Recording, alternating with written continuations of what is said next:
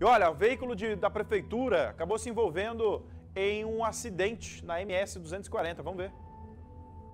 Olá, Rude. Olá a todos que acompanham o Pulseiro de Prata. Uma caminhonete Ranger da Prefeitura ficou danificada após atingir um boi na MS 240, sentido a Inocência.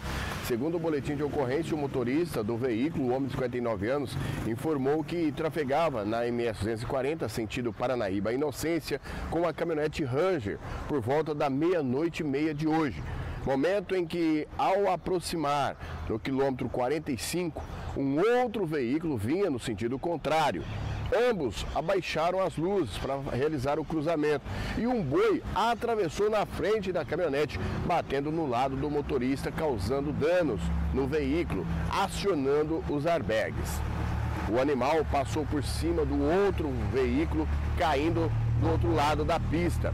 A picape saiu para o lado de fora da rodovia e o condutor, por sorte, conseguiu retornar para a pista. Na hora do acidente, o motorista foi socorrido por usuários da via.